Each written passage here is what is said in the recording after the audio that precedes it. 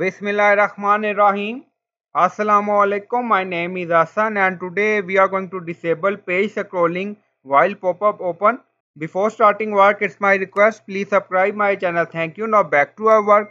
Now on screen you see pop-up open and then scroll up and scroll down you see page scrolling. So we are going to disable it. Now go to dashboard. On left side you see template and then hover on it and then you see pop-up. So click on it. Now scroll down here you see form submission. Then click on edit with Elementor. Now pop-up open and left bottom you see setting icon. So click on it and then you see advanced. So again click on it and then here you see advanced. So again click on it and then here you see disable page scrolling. So enable this option and then click on update and then click on save and close.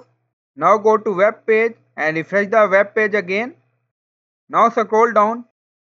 After form submission pop-up open again and scroll down. Now you see disable page scrolling done. So i hope you like this video. Please like comment share subscribe. Thank you for watching